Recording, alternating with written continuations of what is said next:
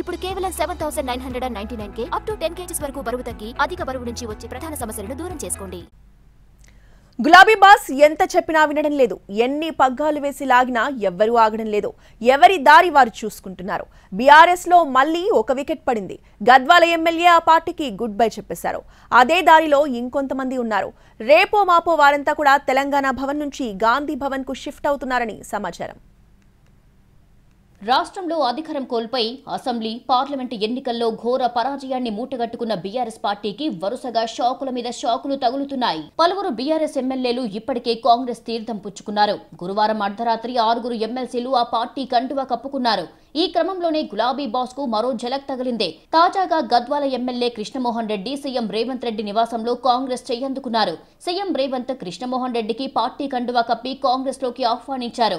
ఆయన బాటలోనే మరికొందరు గ్రేటర్ ఎమ్మెల్యేలు కారు దిగి హస్తం పార్టీలో చేరుతారు అనే ప్రచారం జోరుగా జరుగుతోంది. ప్రస్తుతం ఏడుగురు ఎమ్మెల్యేలు కాంగ్రెస్లో చేరారు. ఆరుగురు ఎమ్మెల్సీలు కండువాలు మార్చారు.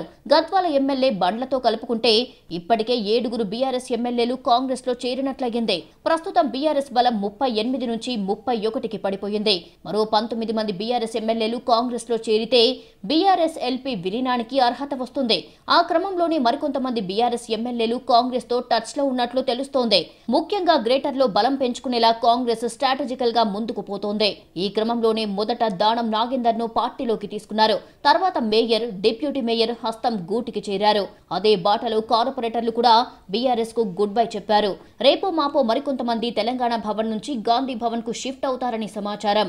వాళ్ళంతా గ్రేటర్ ఎమ్మెల్యేలే అని అధికార పార్టీ వర్గాలంటున్నాయి గులాబీ బాస్ కేసీఆర్ ఎంత చెప్పినా ఎమ్మెల్యేలు మాట వినడం లేదు. ఎవరి దారు వారు చూసుకుంటున్నారు. కేసీఆర్ మాటలు ఎవరికి భరోసా ఇచ్చేలా లేవని పొలిటికల్ సర్కిల్లో చర్చ జరుగుతోంది. అందుకే కాంగ్రెస్ ఆకర్షకు అట్రాక్ట్ అవుతున్నారని చెబుతున్నారు. ఇటీవల పార్టీలోకి వచ్చిన కె. కేశవరావుకు సముచిత స్థానం కల్పించింది కాంగ్రెస్ పార్టీ. ఆయనకు కేబినెట్ హోదా కల్పిస్తూ తెలంగాణ ప్రభుత్వ సలహాదారుగా నియమించారు. ఈ మేరకు ప్రభుత్వం ఉత్తర్వులు జారీ చేసింది. కేసీఆర్తో పొసగగా ఆ పార్టీకి రాజీనామా చేసి ఇటీవలే ఢిల్లీలో ఖర్గే సమక్షంలో కాంగ్రెస్ పార్టీలో చేరారు కేకే.